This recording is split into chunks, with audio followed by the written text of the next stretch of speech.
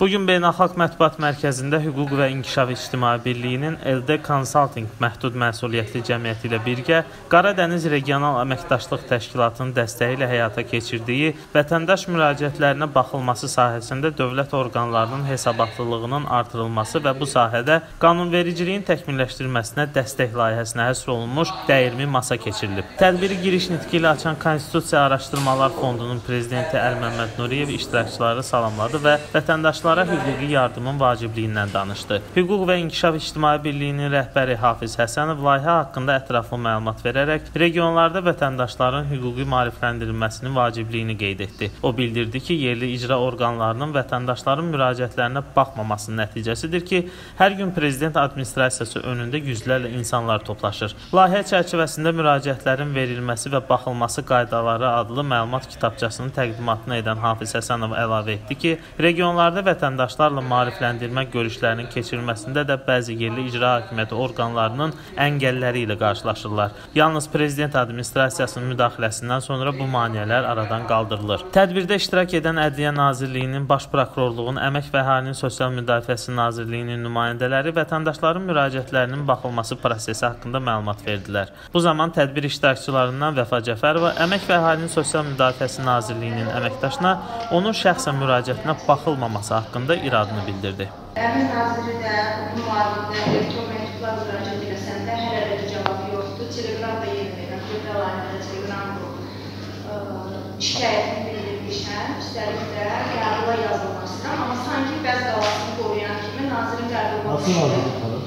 Əmək nazirliyi. Əmək nazirliyi. Hə. Yəni e, sizə deyim ki, prezident administrasiyasında qəbula yazılıb, orada qəbul olunmaq, e, müraciətə baxmaq daha asandır. Bilirsiniz ki, 3 milyondan çox vətəndaşlar hazırlıq olmaq xidmət göstərir. Tək siz, e, sizi qabağa salıb e, qəbula yazılsa, yerdə qalan 800-900 min nəfər hamısı gələcək, deyəcək ki, mən siyahıda məndən Ankara'da yazılır.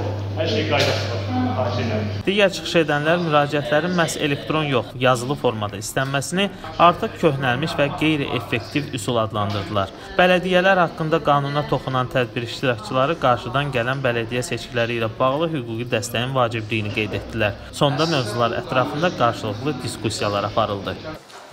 Bu layihə deməli Hüquq və İnkişaf İctimai Birliyi Eldə Consulting Məhdud Məsuliyyətli Cəmiyyətlə birgə həyata keçirir.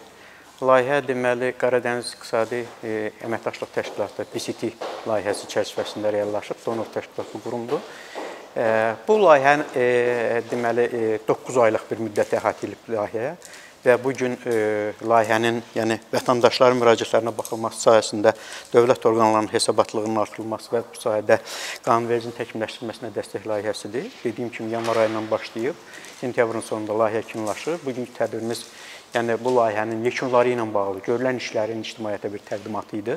E, layihə çərçivəsində biz həm e, vətəndaşların müraciətləri, xüsusən ərz və şikayətlərə baxılması sahəsində həm vətəndaşların maarifləndirilməsi, həm də dövlət orqanlarının hesabatlığının artırılması, şəffaflığın bu sahədə artırılması. Bilirsiniz ki, ümumiyyətlə şikayətlərə, ərz və şikayətlərə baxılması sahəsində cəmiyyətdə də, mətbuatda da, elə ictimaiyyətdə də xeyli e, yəni e, tənqidlər var, narazılıqlar çoxdur. Hətta mən deyərdim ki, administrasiyada, prezident administrasiyasında yəni vətəndaşlarla və sənədlərlə iş şöbəsinin hesabatları olur, bu illik hesabatlar olur. Bu hesabatlarda da kifayət qədər tənqidlər yer alıb bu sahədə və bu onu göstərir ki, istər yerli səviyyədə, istər mərkəzi səviyyədə, yerli icra hakimiyyətləri, mərkəzi icra hakimiyyətləri səviyyəsində vətəndaşların, insanların müraciətlərinə baxılması, xüsusən şikayət, ərizə və şikayətlərin baxılması sahəsində xeyli problemlər var.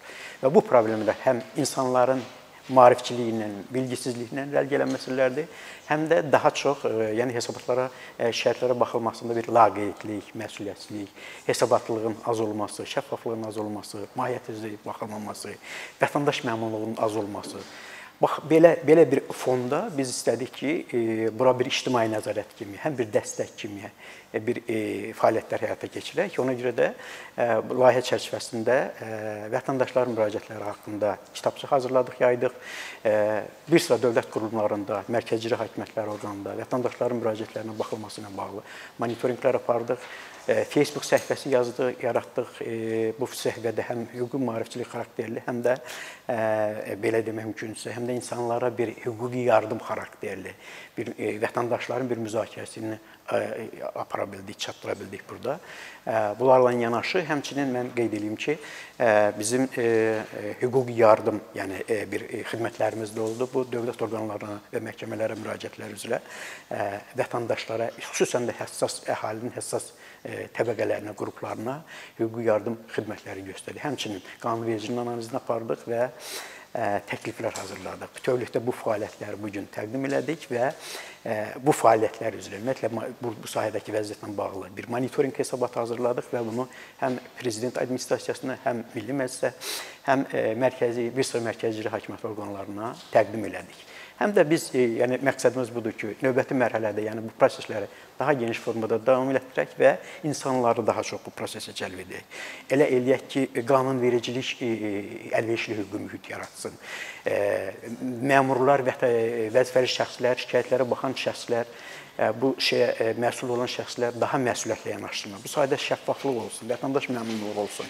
Yəni ictimai nəzarət genişlənsin. Bax belə bir e, məqamla, belə bir arzu ilə növbəti mərhələdə daha geniş fonda, daha geniş məzmunda e, bu prosesləri davam etdirmək istəyirik. Bunu həm ictimaiyyət arasında, vətəndaşlar qarşısında, həm dövlət qurumları, vəzifəli şəxslərlə bağlı rezonans yaradacaq bir fəaliyyətə çevirmək, insanları bu prosesə cəlb etmək məqsədi güdürük.